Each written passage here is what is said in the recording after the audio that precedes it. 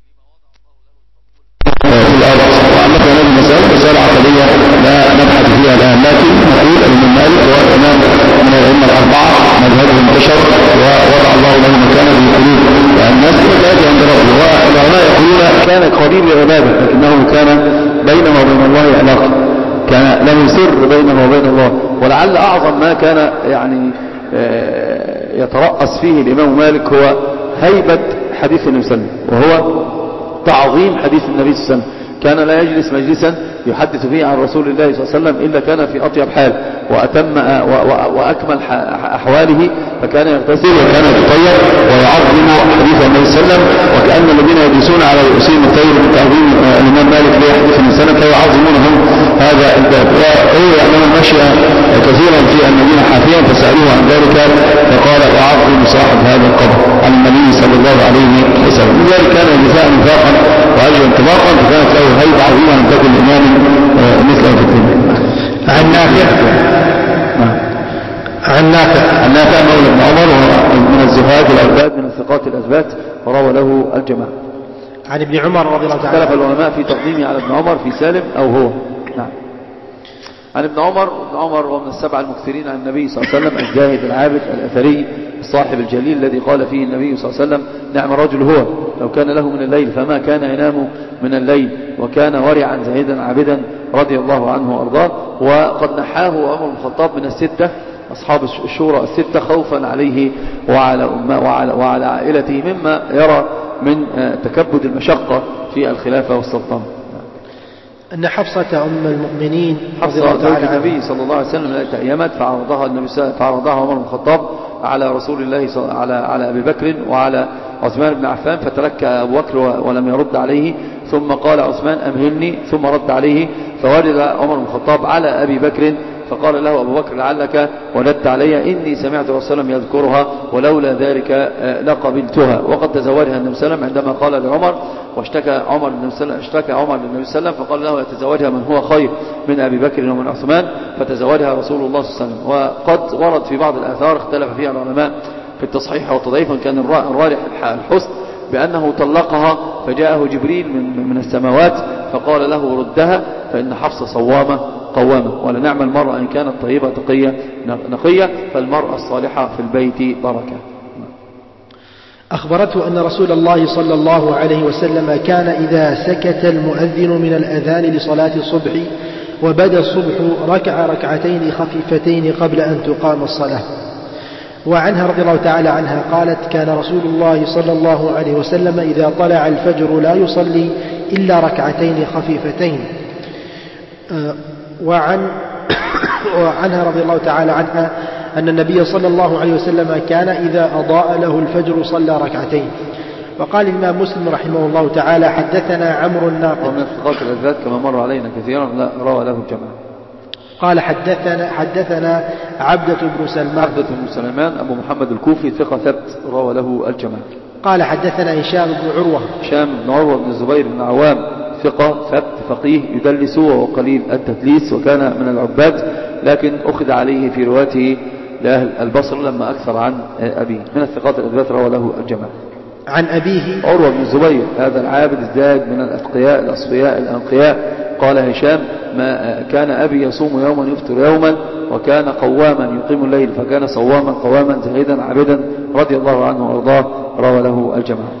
عن عائشة رضي الله تعالى عنها. قالت عائشة رضي الله عنها وارضاها من السبع المكثرين عن النبي صلى الله عليه وسلم وهي كما قال الإمام الذهبي عائشة أعلم نساء العالمين. عائشة أعلم نساء العالمين. وأنت ترى حتى في الحج سارة أنه استدركت على كثير من الصحابة. عائشة رضي الله عنها وارضاها هي حبيبة رسول الله وزوج النبي صلى الله عليه وسلم في الدنيا وفي الآخرة. هذا هذا قاله عمار بن ياسر عندما التقى الصفان فسب أحدهم عائشة رضي الله عنها وارضاها وهي في في جيش طلحة والزبير فقال له اذهب منبوحا مقبوحا فإنها والله زوجة النبي صلى الله عليه وسلم في الدنيا وفي الآخرة وإنها والله حبيبة النبي صلى الله عليه وسلم في الدنيا وفي الآخرة ولكن الله ابتلاكم بها. أتسمعون لها أم تسمعون؟ هي اجتهدت واخطأت فلا يسمع لها. والأتبع للكتاب والسنة فقد أفلح. عائشة رضي الله عنها وارضاها قال عمرو بن العاص يا رسول الله من أحب الناس إليك؟ قال عائشة صدر الباب بها فقال لست عن النساء أسأل إني أسأل عن الرجال. فقال فأبوها أبو بكر. رضي الله عنه وأرضاه. نعم.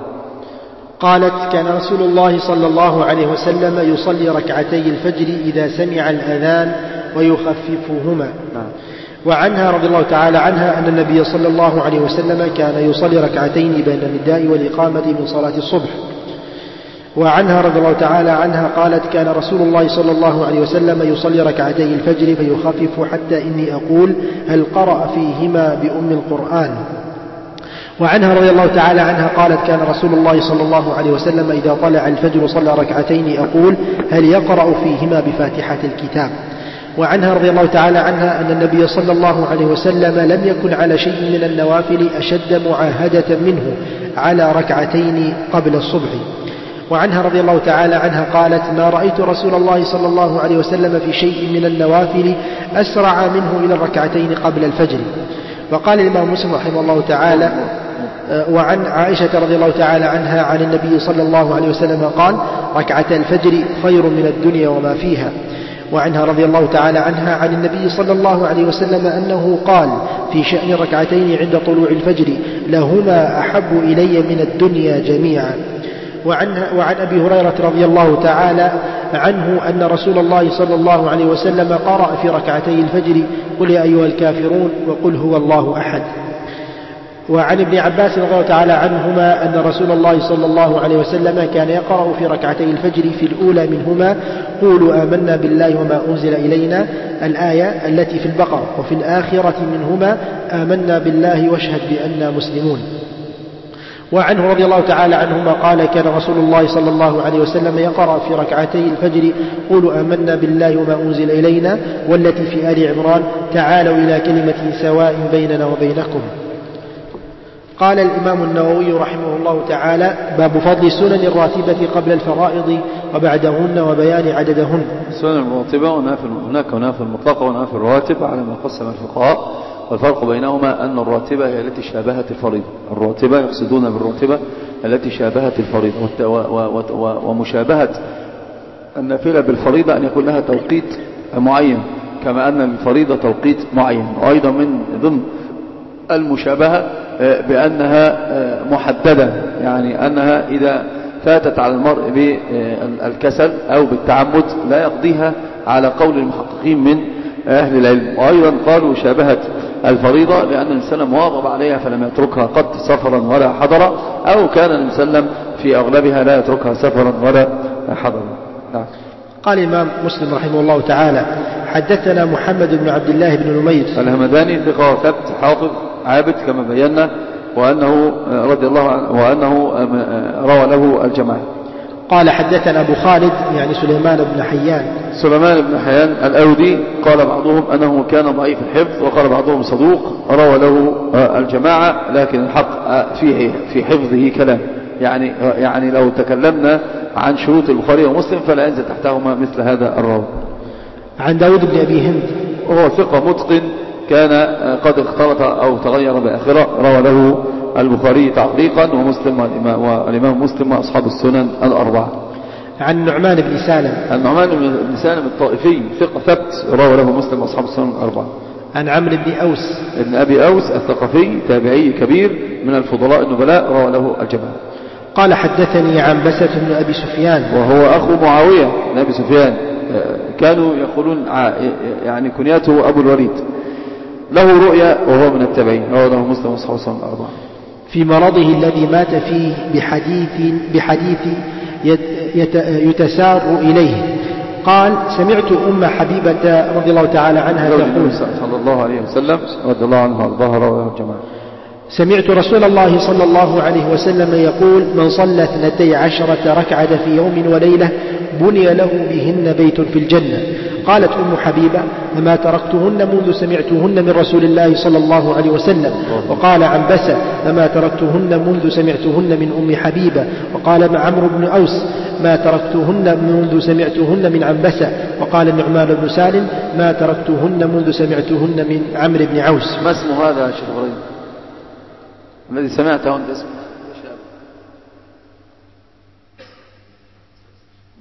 هذا التسلسل بإيش؟ بالتطبيق. هذا هذا لو قلنا التسلسل باللآلئ لكان حقا. لأن هذا يبين لنا ويظهر لنا كيف تطبيق هؤلاء الأخيار الأبرار على ما سمعوه من النبي صلى الله عليه وسلم. فلذلك كان علمنا يقولون يا أهل الحديث اعملوا بالحديث مرة واحدة أو اعمل بالحديث مرة واحدة تكن من أهله. فانظر كيف كان يفعلون. وكان الزهري يقول أيها الناس عليكم بزكاة الحديث. قالوا فما زكاة الحديث؟ قال على كل أربعين حديثا تحفظه اعمل بحديث واحد. اللهم اجعلنا ممن يعمل بهذا الحديث يا رب العالمين. قال وبهذا الإسناد من صلى في يوم ثنتي عشرة سجدة تطوعا بني له بيت في الجنة. آه، وعنها رضي الله تعالى عنها أنها قالت سمعت رسول الله صلى الله عليه وسلم يقول ما من عبد مسلم يصلي لله كل يوم ثنتي عشرة ركعة, ركعة تطوعا غير فريضة إلا بنى الله له بيتا في الجنة أو إلا بني له بيت في الجنة. قالت أم حبيبة فما برحت أصليهن بعد؟ وقال عم ما برحت أصليهن بعد؟ وقال النعمان مثل, مثل ذلك. وعنها رضي الله تعالى عنها قالت قال رسول الله صلى الله عليه وسلم ما من عبد مسلم توضأ فأسبغ الوضوء ثم صلى لله كل يوم فذكر بمثله. وقال الإمام مسلم رحمه الله تعالى حدثني زهير بن حرب. كما أكثر عنه الإمام مسلم وهو من أفقات الأثبات وعن عن ابن عمر رضي الله تعالى عنه. وعبيد الله بن سعيد ومن صفات أيضا المجال الصحيح. قال حدثنا يحيى وهو ابن سعيد القطان.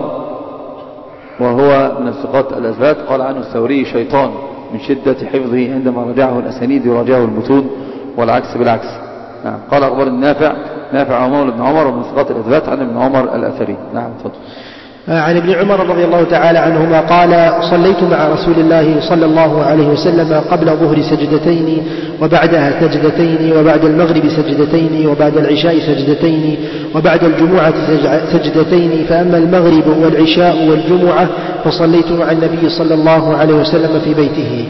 جزاكم الله خيرا هذه يعني تبين لنا فضل صدق العبد في عبادته لربه جل في علاه بأنه يتبع النوافل بالفرائض أقول أن نريد كل النريات أن يهتم المرء بالفرائض والتقوى كل التقوى أن ينتهي عن المحرمات ويأتي بالواجبات. وكلما كان النقص دخل في هذه أو في تلك يقلل من نسبة التقوى. فالغرض المقصود الفرائض هي النريات أداة النريات سواء يؤدي ما, هو ما, ما أوجب الله عليه. ولذلك جاء العربي الذي هو كما وصفوه الصحابة سائر الرأس له دوي يسمع له آه، ولا يفقه ما يقول. قال آه، سأل الإنسان عن الإسلام فقال له خمس صلوات في اليوم والليلة. قال هل علي غيرها؟ قال لا إلا أن تطوع. قال والله لا أزيد على ذلك ولا أنقص. قال النبي صلى الله عليه وسلم دخل الجنة إن صدق. وقد قال الله جل في علاه هم خمسون وهم خمس أو هي خمسون وهي خمس خمسون في الأجر وخمس في الفريضة. فالله تعالى ما أوجبه يريده من عبده أما النوافل فليست كالفريضة. فأداة النريات هي الفريضة وأداة المحبة هي الفريضة. أما أداة المحبوبية والرفعة والدرجات بالنوافل لقول النبي صلى الله عليه وسلم من عاد لي وليا قال الله تعالى من عاد لي وليا فقد آذنته بالحرب وما تقرب إلي عبدي بأحب إلي مما افترضته عليه ولا يزال عبدي يتقرب إلي بالنوافل حتى أحبه فإن أحببته كنت سمعه الذي يسمع به إلى آخر الحديث. وما ما سدد عبد لله سجدة إلا رفع الله بها درجة وحط عنه بها خطيئة وهذه أعظم العبادات على الإطلاق لأن النبي صلى الله عليه وسلم قال الصلاة خير موضوع فليستكثر أحدكم أو ليستقل. فأن العبد حتى سد, سد خانة الخلل في الفرائض لا تكون إلا من النوافل. فعلى المرء أن يهتم بالنوافل ليرتفع عند ربه جل في علاه لما قال قدم آه، ربيع بن كعب الأسلمي قد قدم وضوء وضوء النبي صلى الله عليه وسلم فقال له النبي صلى الله عليه وسلم سلني. قال أسألك مرافقتك في الجنة. قال أو غير ذلك؟ قال بل هو ذلك. فقال له إذا أعني على نفسك بكثرة السجود. وأنت ترى أن وسلم كان ما يتعبد له عبادة من النافلة إلا وثبت عليها وأثبت عليها وأمر عباده وأمر عباد الله على ذلك. عندما أنكر على عبد الله بن عمرو وقال له يا عبد الله لا تكن مثل فلان كان يقوم من الليل ثم تركه. فالنوافل لها ما لها من الفضل وفيها كما قلنا إظهار الصدق في العبودية لرب البرية جل في علاه. هنا عندنا نافلة من أعظم النوافل قدرا والذي لم يتركها النبي صلى الله عليه وسلم سفرا ولا حضرا. هذه النافلة ألا وهي سنة الفجر رغيبة الفجر. كيف لا؟ وقد قال النبي صلى الله عليه وسلم هي أحب إليه من الدنيا وما فيها. في رواية خير مما طلعت عليه الشمس. هناك مسائل كثيرة تتعلق بهذه النافلة العظيمة التي شابهت الفريضة وهي سنة الفجر أو رغيبة الفجر. مسائل خمسة أو مسائل ستة آه، يعني نتكلم عنها. أولها حكمها حكم سنة الفجر. سنة الفجر نقل بعضهم الإجماع والاتفاق على أنها سنة هي سنة الفجر فهي سنة. وإن كان بعض العلماء قد نقل الخلاف في ذلك فقد قال بعض السلف منهم الحسن البصري قال هي واجبة. وقال هي واجبة لأن النبي صلى الله عليه وسلم قد اعتاد هذه ال- ال- ال- الصلاة ولم يتركها قط وقال صلوا كما رأيتموني أصلي. فاعتادها النبي صلى الله عليه وسلم وداوم عليها وواظب عليها سفرا وحضرا لا سيما وأن, وأن عائشة قالت ما رأيت النبي صلى الله عليه وسلم أشد تعهدا على صلاة مثل هذه آه، الصلاة فقالوا هي واجبة. وهذا قول مرزول مردود شاذ لا أصل له. الصحيح بالإجماع وبالاتفاق بأن سنة الفجر هي سنة وهي نافلة. لا ترتقي إلى الفريضة والدلالة على ذلك أدلة كثيرة. منها قول النبي صلى الله عليه وسلم خمس صلوات في اليوم والليلة فرضهن الله على العباد الآخر الحديث وذكر خمس صلوات. وإذا قلنا بأن سنة الفجر واجبة صارت ست صلوات.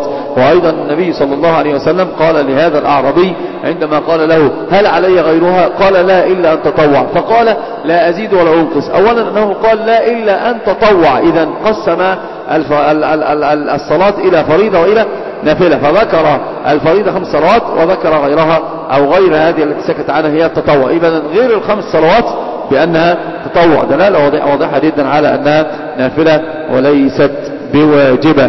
وإن كان النبي صلى الله عليه وسلم قد واظب عليها لأهميتها بل ولفضلها. لذلك ننتقل إلى المسألة الثانية في هذا الباب بعدما بينا بأنها نافلة على كل الأحوال وليست بفريضة.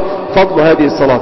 حتى ولو قلنا بأنها نافلة هي أحب ما تكون من النوافل إلى الله جل في علاه. لأنها أحب ما تكون من النوافل إلى النبي صلى الله عليه وسلم ولا يكون ولا يتحرك وسلم إلا بوحي. قال النبي صلى الله عليه وسلم كما حديث عائشة هي خير مما طلعت عليه الدنيا. خير مما طلعت عليه الدنيا أو أحب إليها مما في الدنيا وما فيها يعني من متاع, متاع الدنيا الزائل الذي لا يعني يساوي شيئا كما بين علماؤنا وقالوا إن كانت الآخرة إن كانت الآخرة زخفا آه، خزفا آه، باقي وكانت الدنيا آه، ذهبا. فاني فالزخف الباقي أفضل من الذ- الذهب. الفاني والدنيا قطعة الثلج في وقت فيه شمس حرارته شديدة. كم تبقى في يد الإنسان؟ فلذلك هو يقول خير مما- طاعت عليه الدنيا أن يصلي هاتين الركعتين بهما يرتقي عند ربي جل في علاه لديمومة الخلود. ففضلها عظيم بأن الله جل في علاه قد أوحى لنبيه أن خير من الدنيا وما فيها أن, أن, أن, أن يستمر على هاتين الركعتين. فإذا فضل هذه الصلاة ظهر في قول السلام هي خير من الدنيا وما فيها وأيضا قول السلام هي خير مما طلعت عليه الشمس وفضلها أيضا ظهر بمواظبة النبي السلام عليها وأنه ما تركها سفرا ولا حضرا النبي السلام إذا استمر على عبادة اعلم أنه عض عليها بنوارس أنها من الفضل بمكان. وفضلها أيضا في قول النبي وسلم من صلى البردين دخل الجنة والبردان الفجر والعصر. لذلك قد قال الشافعي بمثل هذه الأحاديث أن صلاة الفجر هي الصلاة الوسطى التي هي أعظم عند الله جل في علاه وأيضا من فضلها أن الملائكة الذين الكتبة يجتمعون في صلاتين في الفجر و وفي العصر ففي الفجر هذه دلالة أيضا على فضيلة العصر فهي مواكبة موافقة مترابطة مع صلاة العصر التي هي الصلاة الوسطى التي أعظم آه، الصلوات. هذا فضل هذه الصلاة العظيمة فحري بكل إنسان ألا يترك هذه الصلاة العظيمة. أيضا هذه الصلاة من فضلها أن من واظب عليها كانت له وسيلة لرؤية الرحمن جل في علاه. وإن كانت الرؤية مكتوبة على من أدى الفرائض وأنه يحوز هذه الرؤية لكن الرؤية تتفاوت. جمال الرؤية وبهاء الرؤية وعظمة الرؤية ونعيم النعيم في القلب الرؤية كله يتفاوت الدرجات. يعني من كان يؤدي الفرائض يرى ربه جل في علاه. لكن نعيمه في الرؤية لا يساوي نعيم من أتى بالفرائض ثم أتبع الفرائض بالنوافل من كان في الفردوس الأعلى لا يكون مثل من الذي كان في أدنى هذه الدرجات. كما قال النبي صلى الله عليه وسلم بين الدرجة والدرجة في الجنة في الجنة كما بين السماء والأرض عندما يرى النجم في السماء. فإذا هذه الرؤية تتفاوت. نعيم الرؤية يتفاوت. وقد بين النبي صلى الله عليه وسلم فإن استطعتم سترون ربكم كما ترون هذا هذا القمر. لا تضامون. أو قال مثل الشمس لا تضامون لا تضرون في الرواية الأخرى. قال فإن استطعتم ألا تغلبوا على صلاة قبل طلوع الشمس وقبل غروب الشمس ففعلوا هو بعض العلماء قالوا المقصد فيها هي فريضة الفجر وفريضة العصر لكن ما يتبعهما يأخذ حكمهما فالفرع يأخذ حكم الأصل. ولذلك قال هي خير مما طلعت عليه الشمس فهي وسيلة إلى رؤية وجه الله الكريم. سبحانه جل في علاه. وهنا اختلف العلماء كما ما زلنا في فضلها اختلف العلماء في فضلها وفضل الوتر. أيهما أفضل الوتر أم سنة الفجر؟ مع الاتفاق بأنهما أفضل النوافل على الإطلاق الوتر وسنة الفجر هما أفضل النوافل على الإطلاق. لكن اختلف أيهما أفضل الوتر أم صلاة الفجر في الجمهور يرون الوتر أفضل والشافعية لهم قولان في ذلك القول الأول سنة الفجر أفضل لأن السلام قال هي خير مما طلعت عليه الشمس وهذه خيرية تدل على إطلاق الفضل ففضلها أعظم من فضل الوتر والقول الثاني بل الوتر أفضل وأنا أدين الله بهذا القول الثاني وهو الصحيح فالوتر أفضل من أكثر من وجه. الوجه الأول أن الوتر أو أمر به النبي صلى الله عليه وسلم وأما سنة الفجر لم يأمر بها النبي صلى الله عليه وسلم قد أمر الأمة, الأمة بلسان حاله لا بلسان مقاله ولسان القال أقوى عن لسان الحال. فهو أمر بالوتر عندما قال صلاة الليل مثنى مثنى فإن خشي الصبح فليوتر. بواحدة لما الأمر هو الآن. فقد أمر بها فلما أمر بها دل على أنها, أنها أفضل أو أعلى مراتب النافلة إن لم تكن واجبة لأن الأصل في الأمر الوجوب. فقال علماؤنا فإن لم يكن واجبا فهي أعلى مراتب النوافل. فإذا هذه دلالة أيضا بأمر النبي صلى الله عليه وسلم أن الوتر أفضل. وأيضا من دلالات أن الوتر أفضل. النبي صلى الله عليه وسلم كما قلنا لم يتركه سفرا أيضا ولا حضرا. ومن فضل الوتر أيضا أنه من قيام الليل. وقد ورد النص الصريح على أن شرف المؤمن في قيام الليل وأن والاتفاق بأن قيام الليل هو أفضل النوافل على الإطلاق. يا أيها المزمل قم الليل إلا قليلا. لا سيما وأن, وأن الله جل في علاه حث الأمة واستنهض الأمة بأسرها بعد النبي صلى الله عليه وسلم على قيام الليل عندما قالوا المستغفرين بالأسحار. وقد بين النبي صلى الله عليه وسلم أن فضل ابن عمر في أن يقوم من الليل. نعم رجل هو لو كان له من الليل. وما كان النبي صلى الله عليه وسلم قيام الليل بحال من الأحوال. وكان إذا نام عن ليله لتعب أو لشغل أو أو لغير ذلك فكان يقضيه نهارا بأبي هو وأمي وقد قال له جبريل تصريحا واعلم أن شرف المؤمن قيامه بالليل والوتر من قيام الليل. دل ذلك على أن الوتر أفضل من سنة الفجر والله تعالى أعلى وأعلم. المسألة الثالثة تتعلق بهذا الباب وقت سنة الفجر وقت سنة الفجر وأيضا القراءة فيها. أما وقتها بعد طلوع الشمس لحديث عائشة الظاهر بأنه إذا كان إذا, إذا سكت المؤذن قام فصلى النبي صلى الله وسلم ركعتين. طيب طلوع الفجر مش الشمس. متشكرين أنتم مستيقظون الآن. جيد.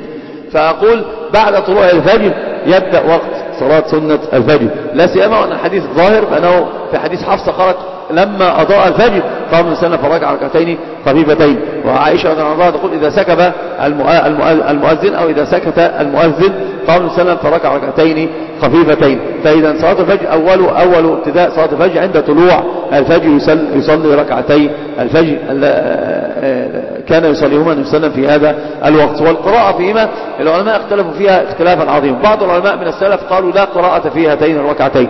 يصلي قائما هي فقط بلسان الحال قائما راكعا رافعا ساجدا ولا يقرأ فيها بحال.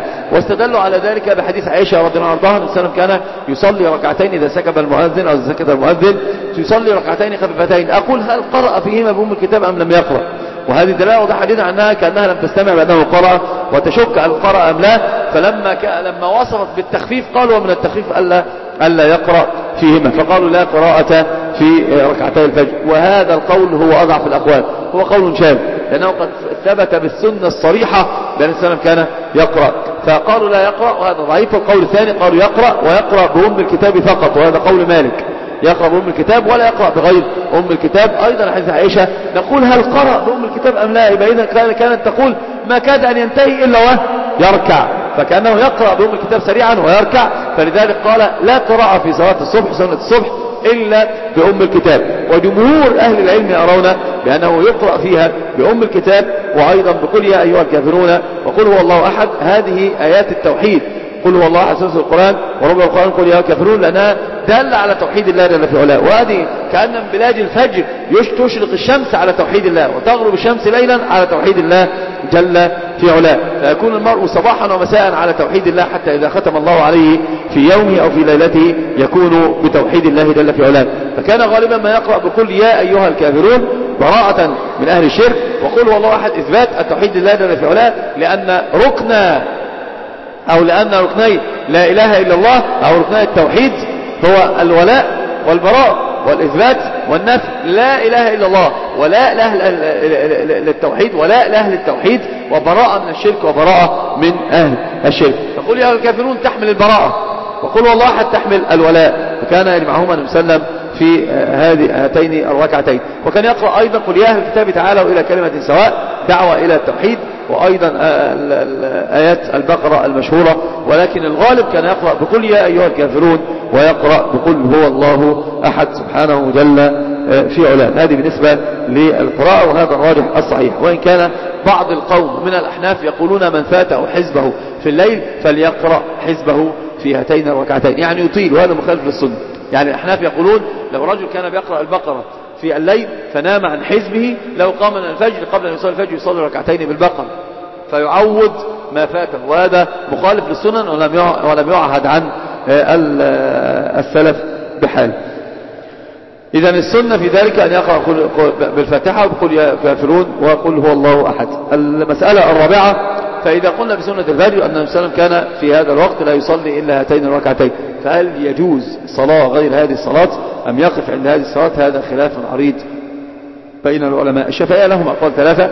القول الأول بأنه الصلاة مع هذه الصلاة اللي هي صلاة سنة الفجر إذا صلى معها نوافل مطلقة مثلا أو نوافل أخرى الكراهة مطلقا عدم الكراهة مطلقا ما لم يصلي الصبح. في حد فاهم؟ ما حدش فاهم؟ ما حدش فاهم أي حاجة؟ اللي مش فاهم يرفع إيده. كله مش فاهم ما شاء الله. جميل جدا. أنت فاهم؟ لا والله. يبقى عشان حلقت رأسك. تبقتني بما فاهم. ثلاثة الأوجه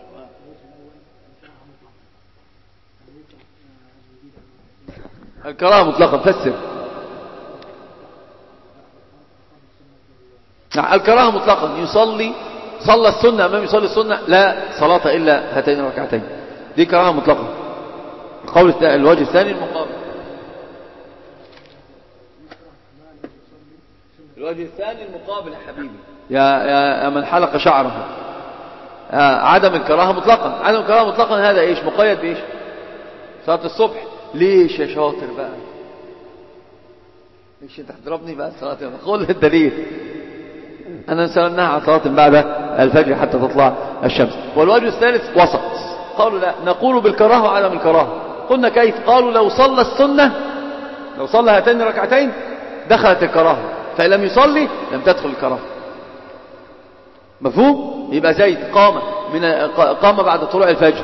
وكان قد نسي الوتر قال يصلي الوتر. قبل أن يصلي سنة الفجر. لو صلى سنة الفجر دخلت إيش؟ الكراهة. ما لم يصلي سنة الفجر فالكراهة مرفوعة. مفهوم؟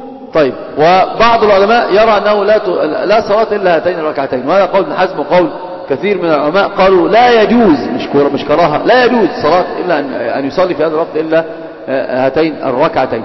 وبعض العلماء قال بالكراهة مطلقة حتى لو صلاة ذات الأسباب. والصحيح الراجح أنه القول الوسط بأنه إذا صلى سنة الفجر يكره له أن يصلي بعدها فإن لم يصلي سنة الفجر فله أن يقضي ما فاته لأنه قد ورد بسند صحيح عن ابن عباس رضي الله عنه وأرضاه أنه كان يفوته الوتر من الليل فيقوم فيصليه قبل رغيبة الفجر.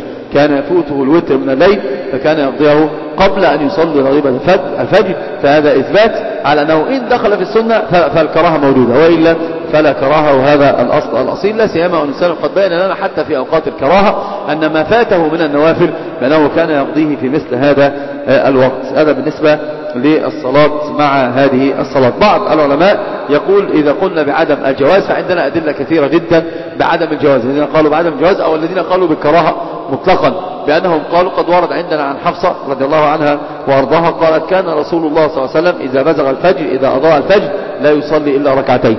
وهذه حكاية فعل وحكاية الفعل تبين الاستحباب ولكن لا تدل على الكراهة.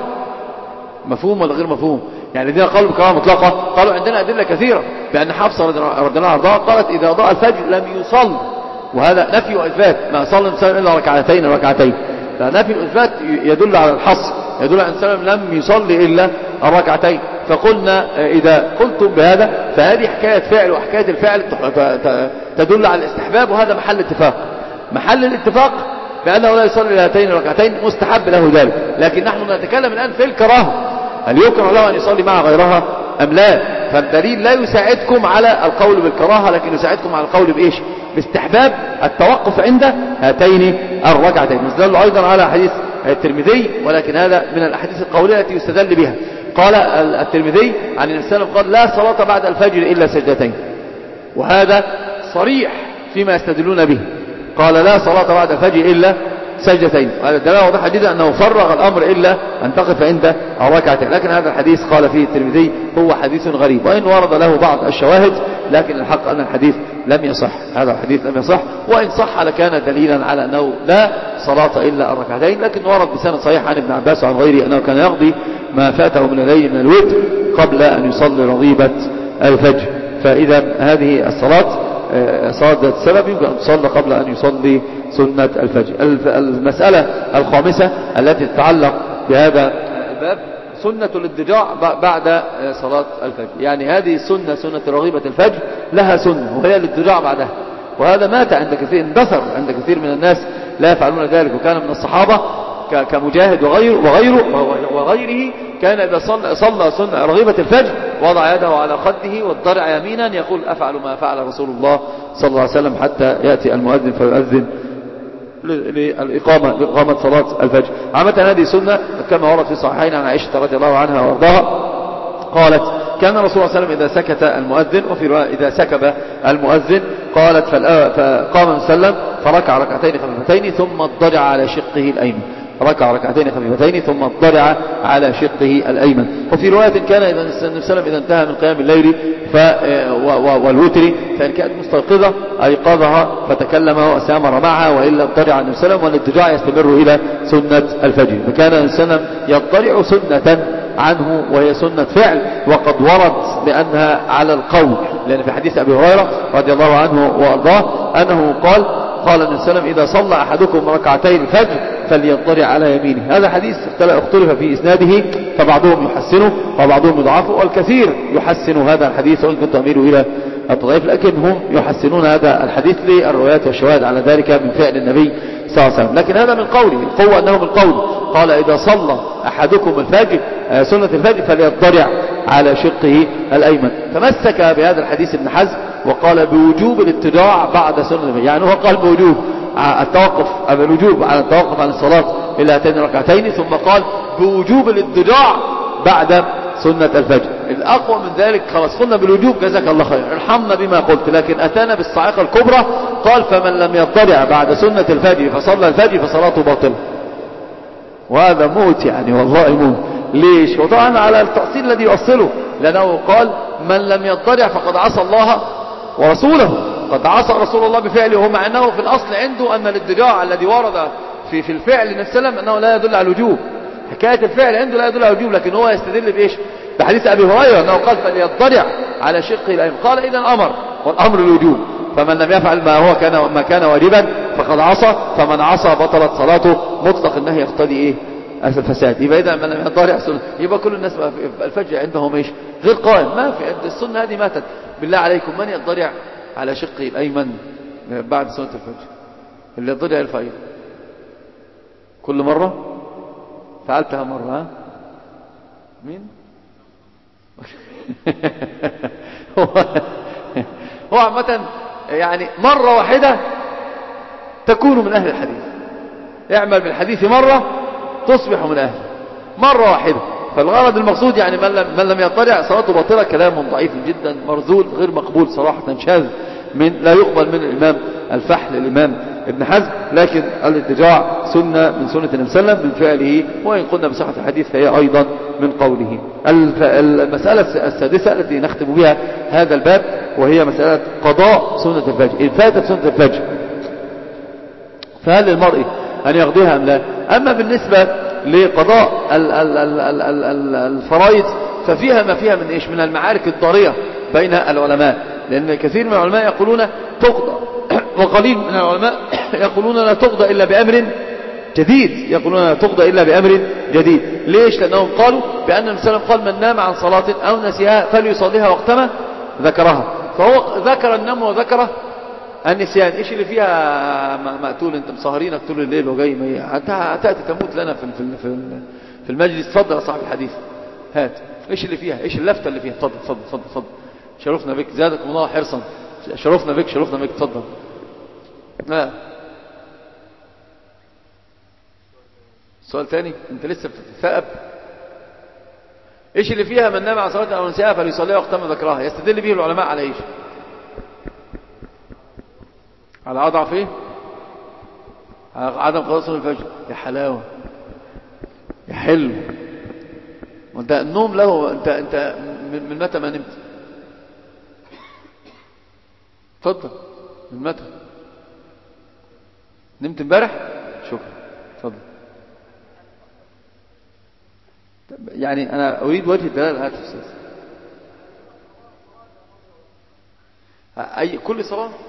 جزاك الله خير أنت فتحت الباب لكن نريد تقييد بقى كيمياء. خليك.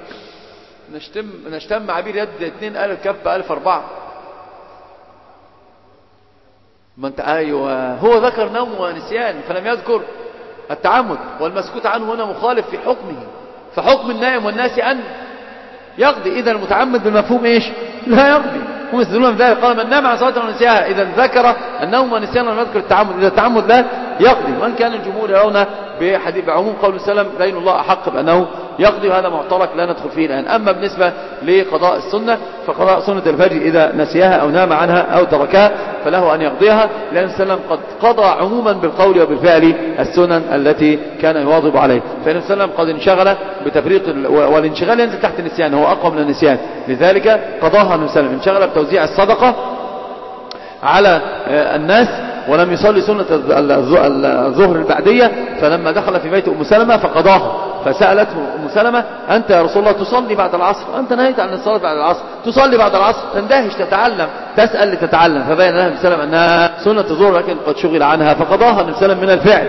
ومن القول النبي صلى الله عليه وسلم قال من نام عن صلاة ونسيها عموما فليصليها وقتما ذكرها. وأيضا من الإقرار النبي وسلم وردت هذا دليل خاص في سنة الفجر. من الإقرار أن عليه وسلم دخل على رجل يصلي فقال الفجر تصلي الفجر أربعا. صلي بعد الصلاة تصلي الفجر أربعا قال هذه سنة الفجر فأقره النبي صلى الله عليه وسلم. وإن كان الاتفاق عند أهل السنة والجماعة بأنه من نام أو نسي صلاة سنة الفجر أو نام فقام على على إقامة الصلاة فليبدأ بصلاة الفريضة وليقضي سنة الفجر بعد طلوع الشمس. هذا الأولى له حتى لا يدخل في مسألة الخلاف المشهور بين العلماء. هل الصلاة ذات السبب تصلى في الوقت منهي عنه أم لا؟ وإن كنا ندين الله أنها تصلى ولكن جمهور العلماء يرون أنها لا تصلى. والقاعدة الفقهية عند العلماء الخروج من الخلاف ها مستحب. فالخروج من الخلاف مستحب فيصليها بعد طلوع الشمس. ورد أثر بذلك عن النبي صلى الله عليه وسلم. إذن له أن يقضيها وبهذا نكون قد انتهينا من هذا الباب. الباب الثاني الذي انتقل إليه المصنف هو باب فضل سنن الرواتب وضممنا هذا الباب مع هذا الباب لأنه كما قلنا مع نفس الفضيلة يعني ولا يزال عبدي يتقرب إليه بالنوافل حتى أحبه. نعم سيدي. قضاء الوتر ماله؟ والله في النهار ورد أن وسلم كان إذا نام عن حزبه في الليل صلى ثنتي عشرة ركعة قبل الزوال. فهنا يشفع يشفع الوتر لا يصليه وترا. وقد ورد في البغوي في شرح السنة قد أورد وخرج حديثا بأن السلام صلاه وترا أيضا. لكن كان غالب حال النبي صلى الله عليه وسلم في القضاء يقضيه ستة عشرة ركعة شفعا. ولكن ورد أيضا أنه قضاه إيش؟ وترا. فمن فعل ذلك فالعتف ومن فعل ذلك فالعتف والسنة أن يفعل ذلك تارة ويفعل ذلك تارة تأسيا برسول الله صلى الله عليه وسلم. من النوافل أيضا هو النوافل الرواتب. وقلنا الرواتب الرواتب سميت رواتب لأنها شابهت الفريضة بالتوقيت وأيضا بالمواظبة عليها من ما كان يتركها. ورد أن بعض العلماء قال النوافل الرواتب هي عشرة لحديث ابن عمر الأخير الذي يتكلم فيه أنه صلى ركعتين قبل الظهر ركعتين بعد الظهر ركعتين بعد المغرب ركعتين بعد العشاء. ورغبة الفجر نقل عن حفصة أنها كان يصليها فقالوا عشر. وبعضهم قال بل اثنتا عشرة ركعة. وبعضهم قال ستة عشرة ركعة للأربع قبل العصر. والصحيح الراجع أن الرواتب هم اثنتا عشرة ركعة. هذه النوافل الرواتب اثنتا عشرة ركعة. بالترتيب في حديث أم حبيبة رضي الله عنها وارضاها قالت من صلى لله سنت عشرة ركعة. أول مسائل هذه هذه أول هذه المسائل من صلى لله يعني داوم عليه. لأن هناك رواية في السنن في غير الصحيح قال من ثابر ثابر داوم. يبقى ما يحسب المرء أنه لو صلاها في يوم أو في ليلة أو في يوم أو في يوم تالي تالي أو في جمعة مثلا أنه يحوز هذه الفضيلة. والقصر عند الله مبهم وهذا القصر المبهم عطاء الله لا يتصور. لكن المسألة على الديمومة على الديمومة. هي تسقط في السفر لكن هي على الديمومة. ديمومة حال المرء أنه يواظب على هذه السنن لا يتركها بحال. من الأحوال. فقال من ثابر على ثنتي عشرة ركعة في اليوم والليلة بنى الله له بيتا في الجنة بنى الله له قصرا في في الجنة. والمثابرة معناها الديمومة والمداومة. وهذه المسائل تتعلق بهذا الباب أولا كم عدد الركعات؟ كما قلنا اختلف العلماء بعضهم قال عشرة لحديث ابن عمر رضي الله عنه وارضاه وبعضهم قال اثنة عشرة ركعة لحديث أم حبيبة وهذا الراجح. وبعضهم قال ستة عشر ركعة لحديث علي بن أبي طالب بأن السلام قال رحم الله امرأ صلى قبل العصر أربعا. وفي الرواية عن علي في المسند أن السلام كان يصلي أربعا قبل العصر يفصل بينهما بسلام. لكن حق الرواتب هو كما قلنا اثنة عشرة ركعة لقول وسلم من صلى سنة عشرة ركعة في اليوم والليلة. وفي الرواية الأخرى من ثابر على سنة عشرة ركعة في اليوم والليلة بنى الله له قصرا في الجنة أو بنى الله له بيتا في الجنة. ومن زاد زاد الله له لأن عليه وسلم في الحديث الذي حسنه بعض المتأخرين قال من قرأ قل هو الله أحد عشر مرات بنى الله له قصرا في الجنة. فقال عمر يا رسول الله أرأيت إن أكثرت؟ قال الله أكثر وأطيب. يطيب لك ويزيد لك. إن الله لا يمل حتى تمله. فهذه بالنسبة للمسألة الأولى وسنختم إن شاء الله بالنوافل الأخرى التي تقارب النوافل الرواتب. لأن بعض العلماء رأى أن الضحى أيضا من نوافل الرواتب. فضمها فصارت عند بعض العلماء كم؟ 18 ركعة. صحيح ولا لا؟ لأنه بالأربع ركعات العصر وبركعتي الضحى. إذا مع 16 ركعة وصل إيش إيه؟ إلى 18 ركعة. فأيضا قالوا هي من السنن الرواتب وسلم لم يتركها سفرا ولا حضرا. لم يترك وسلم والصحيح في قول عائشة فصلت لنا في النزاع لأنها قد حكت لنا أنه كان وسلم لا يصلي إيش؟ الضحى. فحكت لنا أن وسلم كان يترك الضحى وحكى لنا من رأى وسلم يصلي الضحى أنه يصلي الضحى. يبقى دلالة أنه كان يترك تارة وإيش؟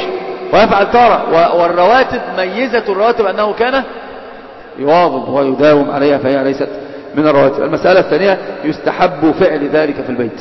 هذه السنة أن يصلي 12 ركعة. يستحب ويتأكد الاستحباب أن تصلى في البيت لأدلة كثيرة جدا لأن عائشة رضي الله عنها كانت تصف فعل وسلم في سنن الرواتب. قالت كان النبي صلى الله عليه وسلم يصلي قبل الظهر أربعا في البيت ثم يخرج فيصلي بالناس ثم يرجع إلى البيت فيصلي ركعتين.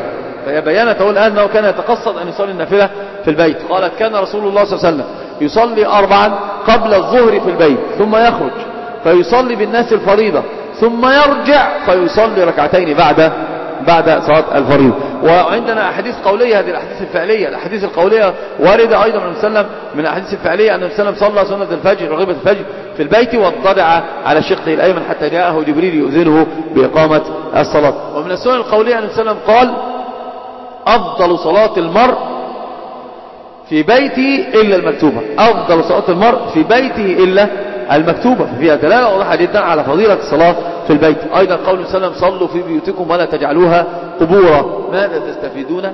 يا أهل العلم يا أهل الفقه يا أهل السلف في العقيدة النقية التقية من هذا الحديث. قال وسلم صلوا في بيوتكم ولا تجعلوها قبورا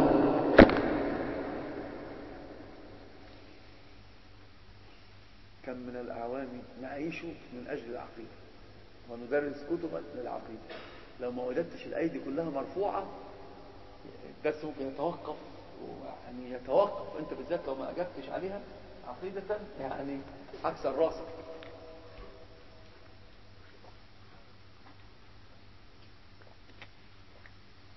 نعم. اللي وراك اللي نايم. الذي إذا وضع رأسه في شيء اشتم العبير فراح فذهب. بتكتب؟ هترفع إيدك يعني انت عارف ولا مش عارف بس عشان نطمن يا اخويا الله يكرمك. عارف؟ جيد. طب والباقي؟ البقية البقية. مش عارفين؟ هات. انت ضيف علينا فلا بد أن نكرمك بالإجابة.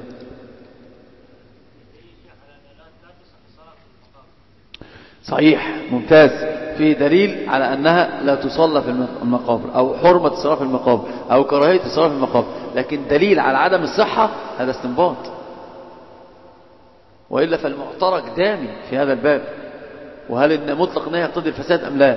لكن هذا الصحيح هذه فيها دلالة على أن الصلاة في المقابر إيش؟ لا تجوز. وقد ورد حديث ضعيف في ذلك تصريحا نهى سلم عن الصلاة في إيش؟ آه قال في المجزرة وفي الحمام وفي المقبرة. وهذا حديث ضعيف. لكن هنا وسلم نهى عن استقبال القبر ونهى عن الصلاة في القبور بهذا الحديث. قال صلوا في بيوتكم ولا تجعلوها قبورا. دلالة واضحة جدا على أن القبور لا يصلى فيها. لا يصلى فيها. هذه مسألة عقدية مهمة جدا. الصلاة في القبور وسيلة إلى عبادة أهل القبور. الصلاة في القبور وسيلة عبادة أهل القبور. هذا ليس مجال للتفصيل فيه لأنها من باب العقائد ويوم السبت مسرحه طويل. وأيضا من ذلك بأن النبي صلى الله عليه وسلم بين أن صلاة النافلة في البيت كصلاة الفريضة في المسجد. صلاة النافلة في البيت كصلاة الفريضة في المسجد. إيش معناه؟ ملهم. يا بركة. إيش معناه؟ طب أحل على البنا. أو صديقك وصديق العمر والحفظ. أحل على البنا. ها؟ على البنا البنا. مش موجود ما جاش. خذ إيش؟ أحل عليه. هو عمال يرفع إيده. كمان مش عارفه.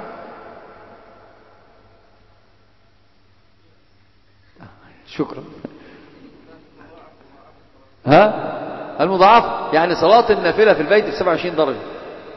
من صلاته في المسجد. من صلى في المسجد فصلاته بواحدة ولو صلاها في البيت فصلاته بكم؟ تضعف عليها 27 هذا النص من كلام سلم صلاة النافلة في البيت كصلاة الفريضة في المسجد. صلاة الفريضة في المسجد تفضل صلاة الفجر بكم 27 في الرواية 25 أيضا صلاة النافلة كذلك. فصلاة النافلة في البيت تفضل صلاة النافلة في المسجد ب 25 أو 70 وعشرين. مسألة ثالثة ما من عبد يصلي لله كل يوم 12 ركعة تطوعا غير الفريضة إلا بنى الله له بها بيتا في الجنة كما قلنا الركعات على خلاف بينها وقد فصلناها في المسألة الأولى. الفوائد فضل الصحابة والتابعين. لشدة تحري هؤلاء في تطبيق سنة النبي صلى الله عليه وسلم. أم حبيبة قالت ما سمعت أنا لما سمعت رسول ما تركتهن عندما سمعت النبي تسلسل هنا تسلسل من الذهب. قالت من صلى 16 ركعة في اليوم والليل بل الله وبيتا في الجنة. قالت أم حبيبة رواية الحديث. تعمل به. تقول ما تركتهن منذ سمعت الرسول صلى الله عليه وسلم يقول بذلك. قال راوي الحديث عن أم حبيبة عن بسر. قال ما تركتهن منذ سمعت ذلك من أم حبيبة رضي الله عنها وأرضاها. قال عمرو بن أوس الذي سمع من عنبسة قال ما تركتهن منذ سمعت من هذا الحديث من عنبسة قال النعمان بن سالم ما تركتهن منذ سمعت عمرو بن أوس يذكر هذا الحديث. وهذا فضل الصحابة والتابعين لا سيما الإنسان قد بين فضل هؤلاء وزكاهم الله من فوق سبع سماوات أما بالنسبة للحديث سأبينه وأما الآية أريدها منكم. زكاهم النبي صلى الله عليه وسلم فقال خير الناس قرني ثم الذين يلونهم ثم الذين يلونهم. وفي الروايات الأخرى قال النبي صلى الله عليه وسلم تغزون أو يغزو فئام من الناس فيقال فيكم من صاحب رسول الله فيقول نعم فيفتح لهم. ثم فقال فيغزون. فيقال فيكم من صاحب من صاحب رسول الله فيقولون نعم فيفتح لهم. وهؤلاء من تابعون؟ وقال فقالوا في الثالثة وقال بعضهم شك في الرابعة والحق أنها تقف عند الثالثة. ائتنا بعذر نقبله وإلا فالمسألة عليك ستكون أشد من السيوف. هو أنت مهندس سيارة ولا مهندس تراب وأسمنت؟ لا مش م... لما هي مش محتاجة من مهندس ليش تأخرت عن الدرس كان لازم تحل عايزة مية ولا برشام؟ محصور؟ وطلعته بفمك ولا بيدك ولا بإيش؟ ولا بالسحر؟ يعني طلعته بالسحر ولا بيدك؟ ليش ما طلعته بالسحر؟ ها؟ السحر كافر؟ انت اتعلمت منها في المدارس انك تطلق الكفر كده على البشرية؟ انت اتعلمت في هذه المدارس بجرأة التكفير بهذه الطريقة؟ وهذا حديث ضعيف. لم يصح مرفوعا. هو موقوف. هكذا. على طول بتطلق الأحكام. ما شاء الله ولا قوة بالله. قل السحر حرام ثم قل منه ما هو كفر ومنه ما ليس بكفر. كنت شافعي المذهب يا حبيبي رجعت. قبلنا رجوعك. تفضل. جزاك الله خير. الشمس المشرقة علينا. والله دكتور أيمن يعني مش عارف. طب ما بما تعتذر لنا من تأخيرك وتضييعك للدرس أمس وتأخيرك يوم السبت في إيش؟ أدام الله عليك الصحة والعافية والخير والسعادة والهناء. وحفظ لك النعمة. أمين يا رب العالمين. جزاك الله خير. طيب الآية التي تدل على فضل التابعين ومن تبعهم بإحسان. في سورتين. صريحتين في سورتين. هات. ها محمد رسول الله. هذا شفت أنت إيش؟ قصر الأمر في الاستدلال على إيه الصحابة فقط وأنا عايز مين؟ ها؟ ما ها. ها؟ صوتك فتأدى صوتك تخين فعليه والسابقون الاولون من المهاجرين آه. والأنصار فين الشاهد بقى والذين اتبعوهم بإحسان. ممتاز. الايه الثانية والذين جاءوا من بعدهم يقول ربنا اغفر لنا ولاخواننا هذه ده على التزكية في كتاب الله. الف- الفائدة الثانية فضل الله الواسع في العطاء. سنت عشرة يصلي سنت عشرة ركعة فقط. بيت في الجنة تعرف إيش بيت في الجنة؟ يعني أنت الآن لو عندك بناية في أعظم الشوارع مثلا في هذه البلد حفظها الله وهذه البناية يقول لك بس أن تصلي ركعتين في في وتأخذ هذه البناية. ده أنت هتصلي 100 140 ركعة وتأخذ صحيح ولا لا؟ أنت سنت تصلي سنت عشرة ركعة فقط. ابن الله ذاك قصرا في الجنة لا آه، تبأس فيه بحال من الأحوال ولا يبيت وأنت فيه في خلود لا يبغون عنها حولا فهذا واسع عطاء الله جل في علاه والله هو الكريم الجواد. نسأل الله أن يتلطف لنا برحمته وأن يحسن إلينا وأن يعاملنا وأن لا يعاملنا بما نحن أهل له وهو أهل لكل خير. الفائدة الثالثة.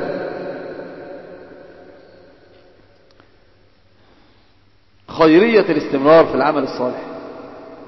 إن أحب العمل إلى الله أدومه وإن قل. وهذا الذي يحبه الله منك. لذلك النبي صلى الله عليه وسلم يقول قلل من العمل. اكلفوا من العمل ما تطيقون لكن استمروا عليه لأن الاستمرار يدل على الصدق. يا رجل ممكن يأخذ الليل كله قيام وعام و و و وبقى ولشيخنا همة علت الثريا فنالت من فنون الدين ريا.